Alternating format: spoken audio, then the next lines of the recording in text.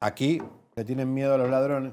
La policía de Los Ángeles, imagínense. Imagínense ustedes, comadres. una de las Oigan, policías más fuertes. Pero ahora sí, música de tensión, comadres. Entramos a este. Es más, no música de tensión, música de terror, comadres. De decepción. Entramos y de decepción, exactamente.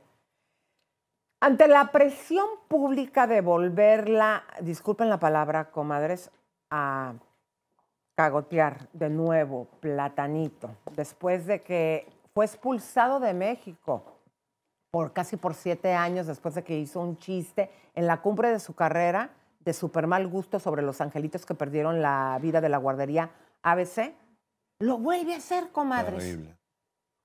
Imagínense ustedes, eh, después de que vio aquí en Chisme No Like al padre de Devani diciéndole discúlpate, actualízate, toma cursos, este sale a pedir una supuesta disculpa. Y digo supuesta, comadres, porque para mí nada más fue, escúchenla ustedes, una justificación y se justifica con su humor negro, Incoherente que ya no total. está actualizado. Hay gente que las nuevas maneras de comunicarnos, eh, pues como que no les entra, ahí es cuando se te sale Está la bola de de, moda, años. Platanito. Está, está de modé, está, está obsoleto, es un carro viejo ya. Completamente, porque cuántos rucos como mi compañerito de pupitre y su servidora no te nos ayornás- actualizamos. Si no te Porque el ayornás, Elisa, mundo morís. Va cambiando y si estás en los medios no puedes seguir teniendo y haciendo los errores sangrones que se hacían en el pasado. ¿A cuántas de ustedes, comadres, no se las bulleaban o se los bulleaban en la escuela? Y fíjate, por chistes a lo mejor tan inocentes, pero también a veces tan fuertes como los del Chavo del Ocho. Comadres, esto que hizo Platanito fue una justificación. Vamos a ver. Hola, ¿qué tal? Muy buenas noches. Soy Platanito Show y estoy aquí para platicar del tema que todos ustedes saben. Hace poquito en una de mis presentaciones toqué un tema, eh, o hice un chiste de humor negro, de un tema inapropiado, un, tema hiriente y poco sensible, sobre todo para la sociedad mexicana y en especial para todas las mujeres. Quiero decirles que detrás de este personaje existe una persona, un ser humano, y hoy voy a hablar como Sergio Verduzco. Quiero decir que Sergio Verduzco es, es una persona, o soy una persona que soy padre de familia, soy un hombre casado, tengo esposa, tengo mi madre, tengo mis hermanas, tengo primas, y tengo muchas mujeres que convivo con ellas eh, todos los días. Y estoy preocupado, al igual que todos ustedes, de la situación que estamos viviendo en este país. Tengo mucho miedo cada vez que mis hijos salen de saber si van a regresar con bien a la casa. Créanme que soy un hombre sensible igual que ustedes. Soy un hombre que está mortificado y está hasta la madre de todo lo que está sucediendo en nuestro país. Mi trabajo, como todos los- ustedes saben, es ser comediante. Desde muy niño yo me he dedicado a la comedia. Antes yo trabajaba para niños y de repente le di un giro a mi comedia porque soy consumidor del humor negro. Y decidí meterle el humor negro a mi trabajo y sé que a veces puedo llegar a lastimar a algunas personas o las puedo llegar a herir. No es mi intención, se los juro. Mi intención es sacarles risas, sacarles sonrisas y hacer que se olviden de todo lo que estamos viviendo en el mundo y en nuestro país. Siento que soy un payaso irreverente, soy un payaso insensato y acepto que toqué un tema que no debía haber tocado jamás. Y siento que lo hice en el momento equivocado. Y siento que lo hice en el momento equivocado. Bueno, vamos a ver. Primeramente, el que tenía miedo que su hija salga a la calle, como vos estás preocupado que tus hijos no regresen, Devani no regresó. Devani terminó bajo el agua. El chiste que hiciste. Entonces, no es un humor negro, no es humor. Y cuando vos decís que sos un padre de familia, nada te justifica ser un padre de familia. Hay padres de familia que han matado gente, padres de familia que son corruptos. Padre de familia no te hace un hombre honorable. Platanito, te voy a decir la verdad. ¿Por qué no haces chiste de tu familia? ¿Por qué no haces chiste de tu mujer y le decís que tenías una maquilladora que supuestamente la recibías en el shopping La Americana y le dabas regalos? ¿Por qué no te reís de eso? A mí me, encanta reír, es un humor negro increíble. Platanito con su maquilladora en el departamento que Lieberman le pagaba aquí en Glendale. Hagamos chiste de tu familia, ¿te gustaría? O hagamos chiste de tus hijos. Tus hijos que podrían ser amigos de Devani. ¿Viste? A ver, pero nada más aclarando algo de Devani, acuérdate que en lo que nos dijo el padre, no terminó bajo el agua. Ella estuvo todavía, cuando desaparece el 8 de abril, la estuvieron buscando y apareció Bueno, el pero 22 la y plantaron estuvo como bajo de, el agua. eh, bueno, no, era una No cisterna debería bajita. haber pasado eso. Exactamente, nada más ahí aclarando ese puntito. No, no, Pero a ver, claro. Plátano, ¿te gustaría, Plátano, que se hiciera ese tipo de chistes si tú vivieses una tragedia tan terrible con tus hijas, tu madre o alguna de tus mujeres? Ya estamos en otro mundo. Yo para creo que puede ser un payaso irrespetuoso, insensato, pero ya hay temas que no se pueden tocar en los chistes. Pero aparte, a mí no me hace olvidar de las tragedias de nuestros países tu humor.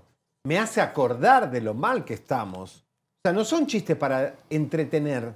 y la gente también opinó en su No, Twitter. Lo acabaron. Primeramente, cuando en México te exilió, tuviste una suerte así, que un empresario acá te dio millones de dólares para, para tener siete años de gracia en Estados Unidos. Andaba en los comentarios de Telemundo y Univisión, no volvés más acá. Eh, olvídate que si te, te sacan de México vas a tener que ir a, a trabajar a otro país. Pero miren, aquí en Twitter, la respuesta de la gente. Te vi en LOL, no me reí, no tienes talento, solo eres vulgar. Es difícil llenar los zapatos de los grandes y a pocos se les da el humor negro. A ti no. ¿Has oído el chiste de un payaso que lo mataron por contar chistes pendejos? Un asco promover y fomentar comediantes mediocres, que para hacer reír o ganar rating burlan, agreden y faltan al respeto. Hagan mofa y burla de su mamá, hija o esposa, y el chiste no les sale igual. Oli, todo pendejo. Tú no aprendes, ya de por sí te crees el comediante. Todavía te echas a todo México encima. Lo que es ser pendejo de veras. Bueno, y eso no fue todo, porque fíjense que cuando estábamos en la junta de producción, Javier y su servidora, eh, porque lo puso primero en sus redes, y había puros comentarios bonitos. Obviamente, comadres, le estaban borrando ahí. Y les dije, no se preocupen, espérense a que se duerma. Si ustedes van ahorita, ya hay un montón de comentarios feos, al menos que otra vez hayan puesto a borrar, porque se pusieron a borrar. Pero aquí también la gente de Instagram se manifestó, y esto fue alguno de los comentarios. Nunca escuché una disculpa. Perdón. Entonces, si lo sientes o no, burlarte de una persona que murió sufriendo. Nunca escuché las disculpas para la familia afectada. Insensible. Qué lástima y qué desatinado está como tu chiste de la guardería ABC. Carnal, hay que tener un poco de tacto, son y serán un tema algo doloroso para este país. Sabemos que vives de esto, pero sí hay cosas que hay que darle mejor la vuelta. Saludos y bendiciones. A ver, eh, esto lo pudimos agarrar porque en la madrugada él dejó de borrar y nosotros tenemos un equipo nocturno que pudo recoger esto. Pero esto es lo que piensa el público de verdad. Y le dicen que tiene que ir a un psicólogo, reformarse y todo eso. Yo te voy a explicar algo, Platanito. ¿Sabes lo que estos chistes demuestran? Que estás muerto artísticamente. Porque si fueras creativo, no pasan estos, estos, estos chistes. Esto es falta de creatividad lo que tenés. Tenés plata para tener cinco guionistas y los conoces muy bien, que son muy buenos. Ponete a trabajar y hacer chistes y crear contenido de humor. Esto te pasa porque no tenés nada y querés la respuesta rápida del público. Y ahí es donde los comediantes que tienen, ¿sabes lo que es ser un buen humorista? Tener olfato hasta dónde voy y hasta dónde no voy a pasar. Eso lo perdiste. Entonces, hay un problema con tu humor, con tu creatividad y con tu persona. Creo que eso es un tipo dinosaurio obsoleto que deberías retirarte un tiempo, ayornarte, juntarte con millennial, con gente joven, con el nuevo lenguaje, porque no es una cuestión de edad.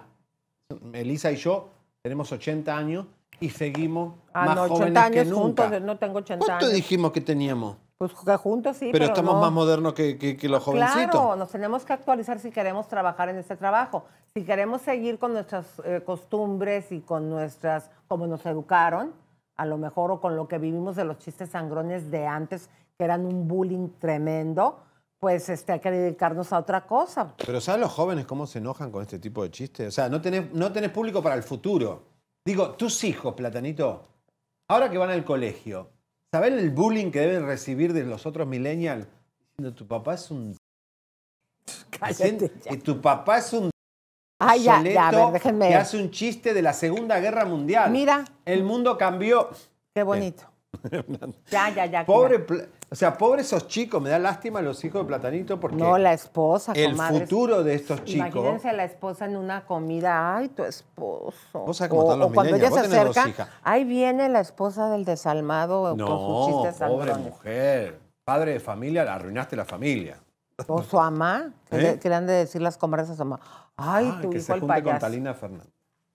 Eh, Claro, eh, claro. Marifer, pues ya que te tenemos aquí, ¿qué pudiste leer eh, justamente el lenguaje corporal de eh, discurso de Platanito? No le digo disculpas porque no pidió disculpas.